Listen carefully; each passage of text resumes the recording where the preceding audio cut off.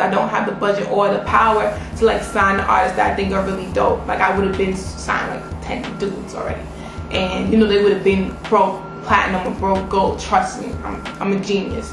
So um, you know, so up on so underground promo was my way to you know to get highlight on the unsigned artists, which now I kind of do that for Video City because I'm a producer at Video City. So Shout out to Doug. so shout out to Doug. I'm a producer at Video City, so I could also highlight stuff that I want to highlight.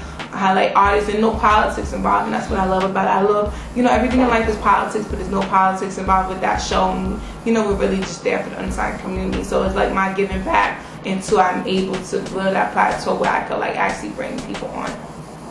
You have a lot on your chart. How the fans could reach out to you?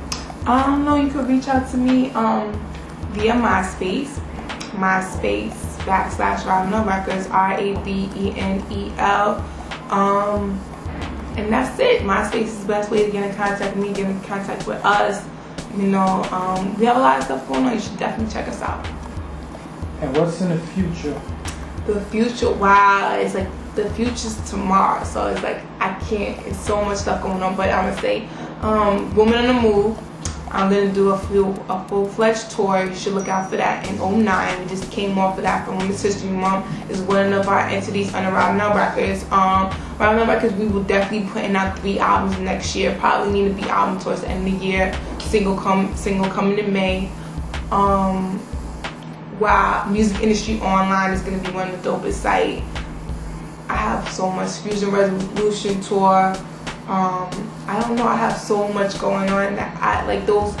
Ravenel Records, Women on the Move, and Music Industry Online. Those are my three babies right now that you're gonna see me cultivate in the next five years to be billion dollar companies. And besides you and Nita B with Women on the Move, who else you're co-signing for? Well, um, I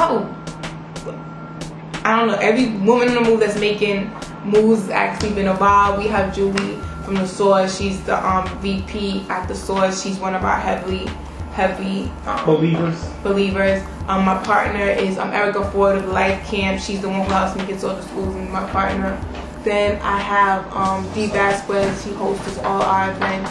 Um, I don't. Um, you know, this year I was really just trying to brand me, Nina, and the whole movement. Like the the Pink Elephant Party was a Women on Move event, so it was just showing that like stuff that we could do. We had Nick um, Pace from America's Next Top Model. She was a very um, active person on this year's event. So it's people like that, and we're gonna get bigger and better, and we're gonna get bigger and better. So everything's working out.